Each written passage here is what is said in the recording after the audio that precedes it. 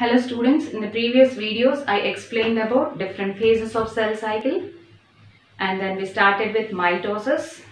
We started with the phases of mitosis that is karyokinesis and cytokinesis. In karyokinesis we studied about all different phases like prophase, metaphase, anaphase and telophase and then we studied about cytokinesis in case of both animal cells and plant cells. Now in this lecture I am going to explain you about mitogens and mitotic poisons. So mitogens are the substances that induce mitosis, that induce mitosis or that initiate mitosis. They are called mitogens. So mitogens are the substances, chemical substances that induce mitosis. These are the chemical substances, chemical substances that induce mitosis, which induce or initiate mitosis. Initiate mitosis.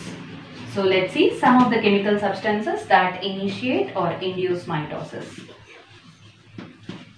For, some ex for example, auxins, auxins, gibberellins, gibberellins and cytokinins are the mitogens that induce cytokinins are the mitogens or these are the chemical substances that induce mitosis in case of plants, plant cells. Next coming to animals. In case of animals, insulin. Insulin is a mitogen that induces mitosis. Insulin is a mitogen in case of animal cells. Next coming to mitotic poisons. So mitotic poisons are the chemical substances that inhibit mitosis. So mitotic poisons. These are the chemical substances that inhibit mitosis.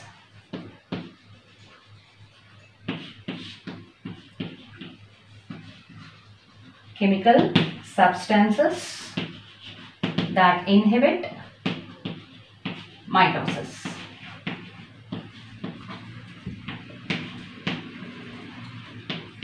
Mitosis. So these chemical substances, some of these chemical substances are cyanides,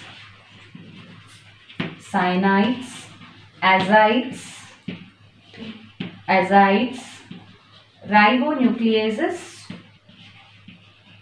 ribonucleases, mustard gas, mustard gas and colchicine and colchicine. So this colchicine inhibits mitosis. This colchicine is a chemical which inhibits mitosis by inhibiting the formation of spindle fibers.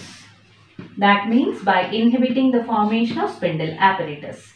Inhibits the formation of formation of spindle apparatus spindle fibers or spindle apparatus okay so this colchicine is a chemical substance and it is obtained from it is obtained from a plant called colchicum autumnale colchicum autumnale so this plant called colchicum autumnale belongs to the family Liliaceae.